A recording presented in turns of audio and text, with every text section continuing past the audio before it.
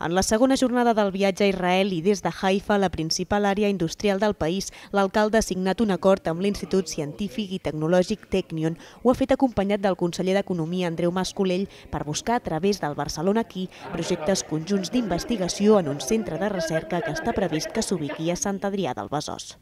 La delegació ha visitat la seu d'IBM, una de les més importants fora dels Estats Units, precisament una de les empreses que el consistori vol que s'impliqui en el Barcelona Aquí.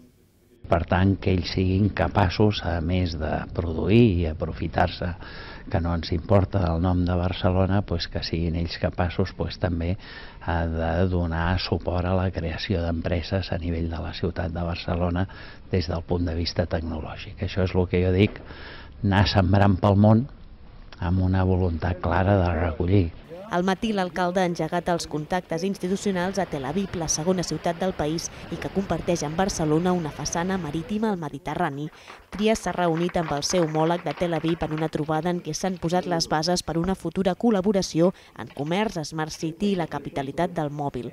L'alcalde de Tel Aviv ha posat Barcelona com a exemple a seguir, però ha reconegut que hi ha aspectes difícils de copiar, com el futbol.